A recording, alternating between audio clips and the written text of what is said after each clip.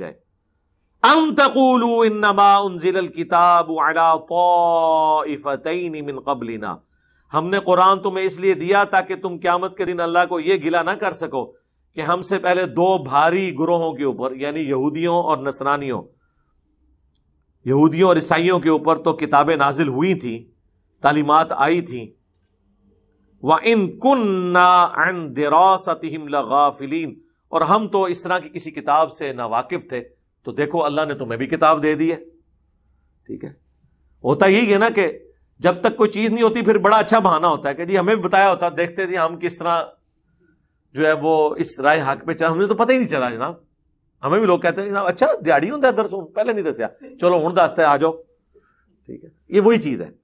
तो अल्लाह ने फरमाया कि ये गिला कोई ना करे कि उन पर तो किताबें नाजल हुई थी इसलिए वो हदायत पे थे हमें किताब मिली होती तो हम तो लो फिर आ गए हमारे पैगम्बर